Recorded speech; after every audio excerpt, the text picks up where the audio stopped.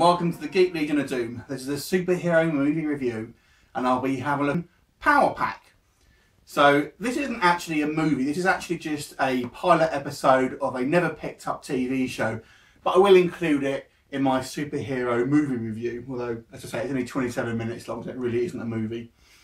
So Power Pack is a Marvel comic that is basically the tale of four children who receive uh, superpowers from an, a horse-like alien being. The actual pilot starts with the characters already having the powers, so it's not an origin story at all.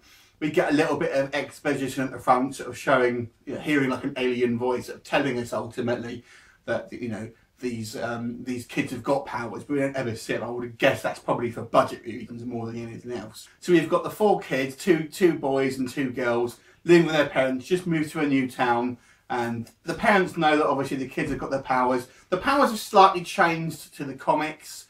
Uh, one of the powers that one of the characters had in the comics was to sort of disperse into a kind of like a mist, and they don't have that. You've got, um, I think the, the the oldest. I forget the character's names to be honest with you. Alex Power, the, who's the oldest boy, has got kind of sort of super strength. Uh, the the younger boy, uh, Alex, can shrink down to a, a smaller size and then the girls, you've got uh, the the older girl. She can kind of go sort of super fast in a kind of like rainbow sort of blur, and um, the the youngest girl, who is the youngest at the four children, has some kind of projective uh, electricity blast and things like that. Now she gets the kind of least least amount of screen time because she's of she's by far the youngest. The other three, basically, it's really their kind of first day in this of new school, and they're trying to sort of fit in. It kind of does. It does have almost like a like a, a kind of Spielbergy feel to it. You, you know, you have these sort of like young kids, obviously with a with a potentially uh, supernatural secret. It, it, did have that kind of feel to me. Obviously, on a you know, I'm not saying it's as good as Spielberg in any, any means, but it did kind of have that vibe. It also reminded me of all the film Monster Squad as well.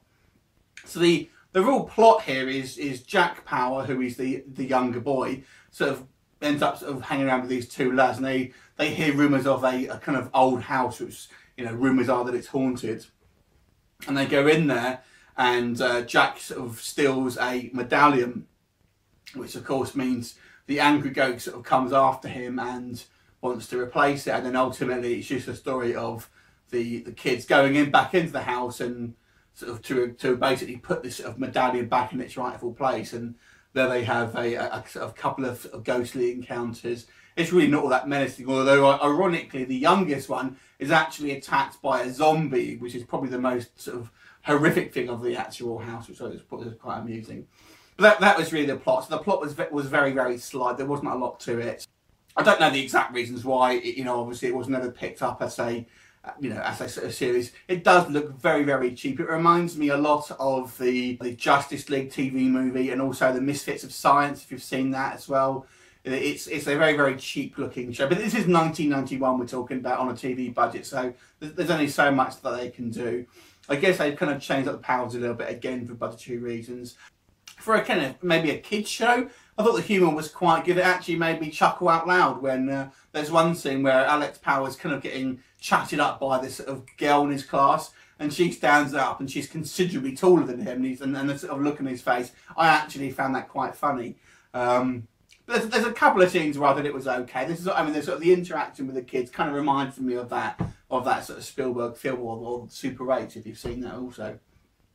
So I actually, you know, I actually think this was probably better than the, the Justice League TV pilot, which I thought was pretty bad. Uh, I guess it works better in a way because it's because it's with children, so it can kind of be a little bit more basic and then kind of a little bit more, you know, aimed at kids. It's a shame it wasn't picked up at because you know who, who knows where it might have gone. Um, in regards to the sort of pilot, but obviously this, the early 90s weren't, weren't the best of this sort of TV, to be fair. So uh, I'm going to give this one a, a 4.5 out of 10. Uh, for its budget, I actually thought it was a bit of fun and, uh, you know, I would have maybe watched a few more if they were made. If you haven't seen it, it's actually available on YouTube in three different parts, so you can just watch it on YouTube. Go check them out. See you soon. Bye-bye for now.